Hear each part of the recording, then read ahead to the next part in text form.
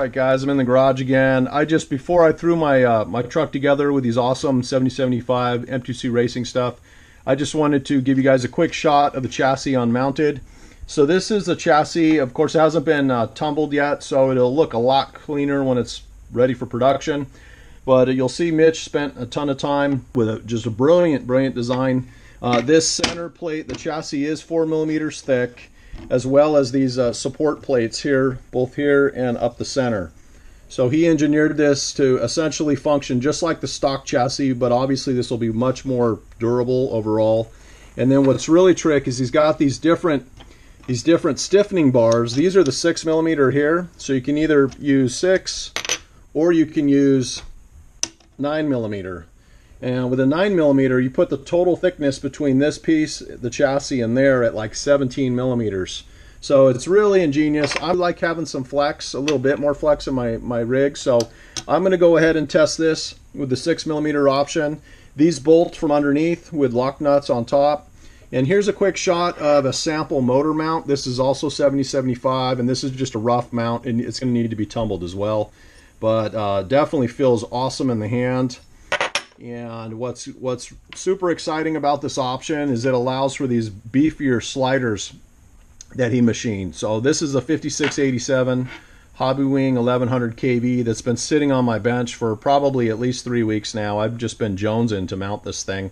But as many of you know, the mounting span, the spanning holes in the end bell are bigger on these larger fifth scales. So now you've got the option to use either one of these beefcake wands. For guys that want to run the stock motor, you've also got an option to use this plate right here, so this slider.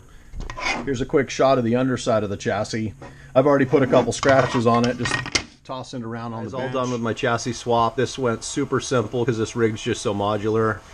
So you'll see I got my beefcake motor in here. I'm going to go ahead and just try it with the stock ESC just for the heck of it. And if I need to, I'm going to go ahead and put in that Max 5 in the back over there. Just going to give you guys a quick shot of the chassis here. So here's a shot from underneath. Again, this hasn't been tumbled or anodized. This is just a raw look, and I absolutely love it.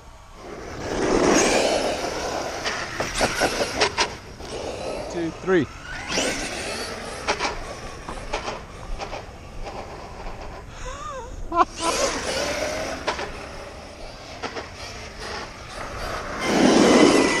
well, even with the stock ESC, it feels good.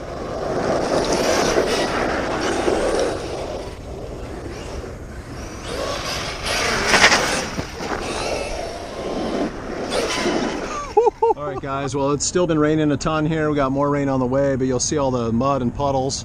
The dirt tracks are all pretty much shut down, so I'm just going to make the most of this. It looks like somebody's been four-wheeling out here, so there's some pretty deep ruts. So I did a little bit of reinforcing just with uh, several layers of Gorilla Tape, and then I also ended up just putting a little uh, little felt pad up here, the self-adhesive pad, only because I noticed when the lid's on, there's like a little bit of kind of slop right there. So anyway, that's just to kind of take away some of the tinging sound and take some of the stress off from the front of the truck.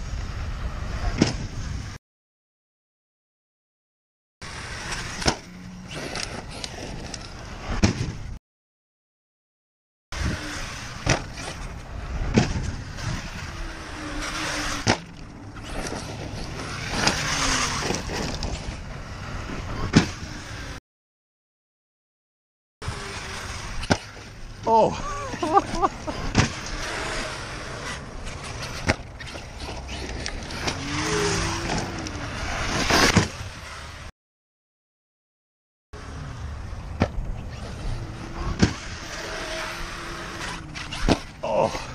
All right, guys, I just noticed I'm three-wheel drive. That's a slight problem. I did forget to mention, um, I did actually find a breakage, and this pin here half half of my uh, outdrive cup pin on the dog bone half of the pin had busted and uh, in any case it um, it was hanging in with only half a pin just because it's su it's such a nice fit between the ball and the cup. Um, so anyway hopefully I have a new one uh, arriving at my house here shortly but anyway that's officially my first breakage on this truck other than an ESC fan. So this thing's been ultra durable for me. Sorry for such a short video guys but I'm not going to keep driving three-wheel drive um, and break something else so. got my max 5 installed. The soldering was really a pain in the ass. I'm just not used to soldering the EC5 with these uh, bigger wires. But uh, anyway, I got my 5687 in here still, and uh, I'm waiting for a bigger pinion. Right now, I got a 25T. I ordered a 27 and a 29 because the temps were absolutely fine on the motor with the stock ESC. So stock tires are back on. I'm just going to give this a quick rip.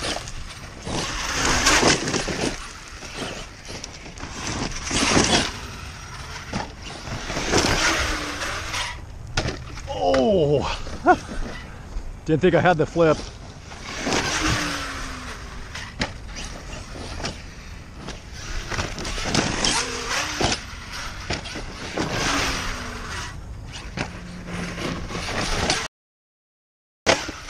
Oh!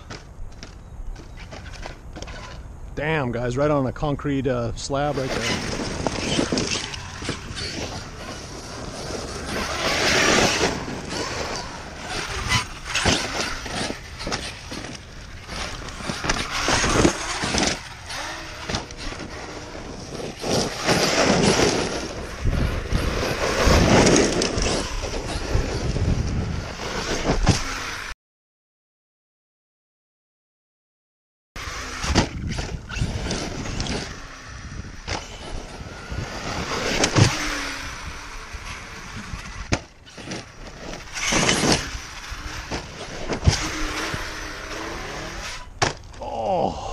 Dang, guys.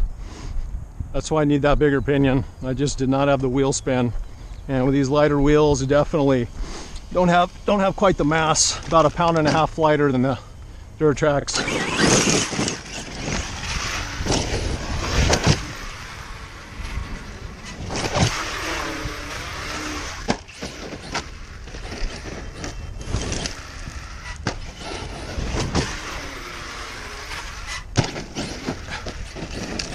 Well, that was a sideways lander. Another ramp slicer.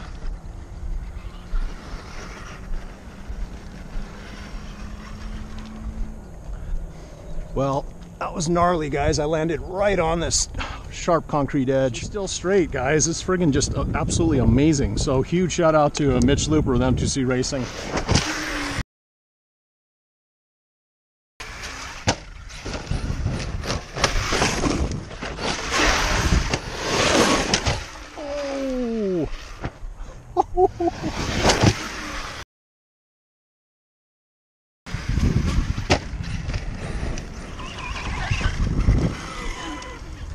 Right, guys, this thing's a complete beast. Huge shout out to Mitch Looper with M2C Racing. This chassis and the motor mount is just complete game changer. So, looking nice and straight to me. Uh, so anyway, and also huge shout out to ARRMA for the, the killer engineering with this rig. All right, guys, Merry Christmas. Late.